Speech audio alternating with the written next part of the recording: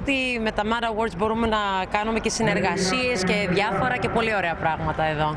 Νιώθω πάρα πολύ καλά. Όπως πάντα λέω, όταν είμαστε υποψήφοι είναι ήδη σαν να έχουμε πάρει το μισό βραβείο.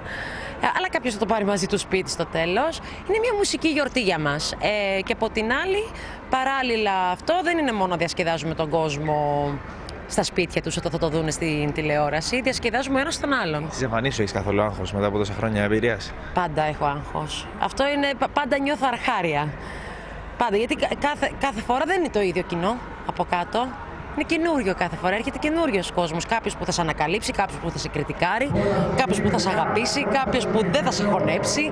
Υπάρχουν όλα αυτά δεδομένα. Αυτό που πάντα έχω άγχος είναι το άγχος να μην υπερισκιάσει για αυτό που έχω αγωνιστεί για να κάνω στο τέλος. Δηλαδή να έχω τόσο τρακ το οποίο μπορεί να σταματήσει ο εγκέφαλός μου. Μου έχει συμβεί μία φορά, μου έχει συμβεί, η αλήθεια είναι. Δεν θυμόμουν λόγια και αυτό ήταν σε μία live εκπομπή στη Σουηδία, το οποίο σταμάτησε την ορχήστρα και ξαναξεκίνησε από την αρχή.